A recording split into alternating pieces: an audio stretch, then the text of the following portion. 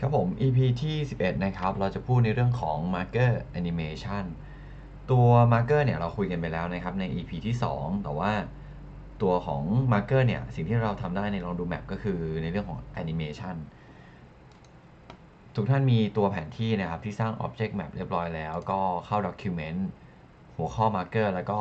Animation บนแผนที่นะครับ จะมีตัวอย่างให้ลองเล่นนะ อย่าผมอธิบายทีละอันนะครับปล่อยหมุดตรงนี้ก็ไม่มีอะไรนะครับ ก็ ปกติเวลาเราสร้างหมุดบนแผนที่เนี่ย ถ้าเกิดเรา create marker แล้วแล้วก็สั่ง add marker เนี่ย มันก็จะ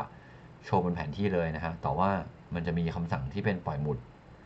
animation ก็จะลงมาแบบนี้นะฮะ ก็เทปอีกแบบหนึ่ง มี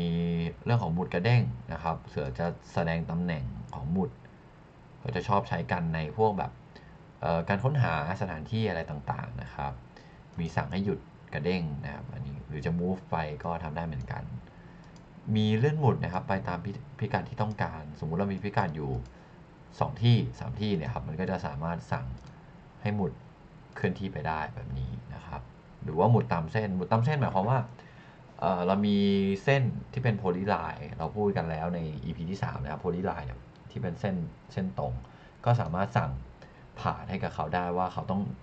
เอ่อ move ไปทางไหนนะครับ เดี๋ยวเราลองทำกันทีละอันนะฮะ อันแรกเป็นเรื่องของตัว animation การปล่อยหมุด จะปล่อยหมุดได้ครับ ตรงนี้ใส่เป็น marker ซึ่ง marker ตัวนี้เราต้องสร้างเป็น marker object มาก่อน ผมใส่ตรงนี้แล้วก็ var marker นะครับ เท่ากับ new ลองดู dot marker ตรงนี้ก็ใส่เป็น lat นะครับ lat 13.5 แล้วกัน lon lon ร้อยครับผมอีกเซตที่หนึ่งผมน่าจะผิด ตัวโอเคต้องเป็นลองดู dot marker ตัว m ตัวใหญ่นะครับโทษทีอ่าเนี่ยฮะคือถ้าอย่างเงี้ยเราก็จะไม่ไม่เห็นชัดเท่าไหร่เพราะว่า อนที่แมปมันสร้างมาเนี่ยมันอาจจะลงปักลงไปแล้ว แต่ว่าถ้าเราทำที่หลังเนี่ย มันก็จะประมาณนี้ครับจะกระโดดลงมาอะอันนี้เป็นอันที่หนึ่งนะครับ ส่วนต่อไปหมุดกระเด้ง ก็สั่ง bounce สั่ง bounce นะครับไอ้ marker ที่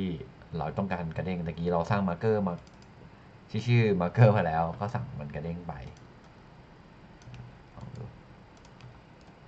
มันก็จะขยับนะครับ ตรงนี้ ถ้าจะหยุดก็สั่ง null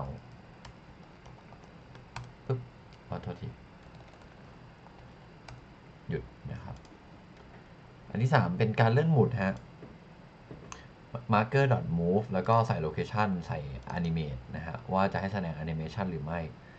marker เนี่ย เป็นชื่อของ marker นะครับ ที่เราสร้างไว้แล้ว แล้วก็ dot move ไปยัง location ที่ต้องการ หน้าตาจะประมาณนี้ครับ สมมติผมอยากให้เขาเคลื่อนมาแถวกำแพงเพชร มาร์เกอร์ตรงนี้ต้องเป็น M ตัวใหญ่ที่ผมสร้างมาเนาะ แล้วก็ก๊อปและ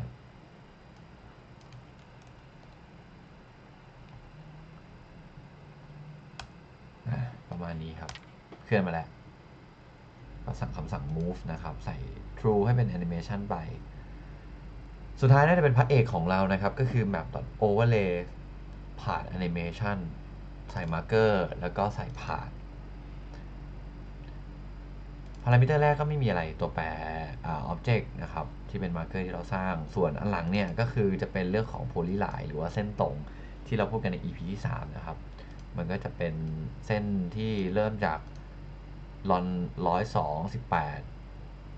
ตรงกลางก็เป็นเส้นนี้แล้วก็จุดปลายก็เป็นอันนี้นะครับเขาจะวิ่งตามผ่านพวกนี้อาจจะลองดู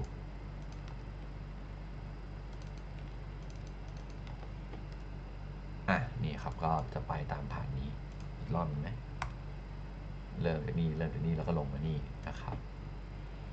หมดแล้วอันนี้ก็เป็นเอ่อ Marker Animation อย่างง่ายนะครับ ผมทำให้ดูแล้วก็พูดให้ฟังนิดหน่อย จริงๆ แล้ว Document เนี่ยค่อนข้างจะเขียนละเอียดอยู่แล้ว ท่านสามารถนำไปประยุกต์ปรับใช้กับทางระบบเว็บแอปของท่านได้เลยนะครับ วันนี้ขอบคุณมากครับ